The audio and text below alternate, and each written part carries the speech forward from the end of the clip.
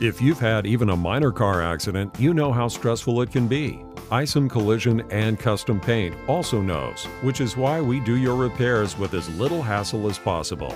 Our team can get your vehicle looking as good as new, and our painting experts can do virtually anything.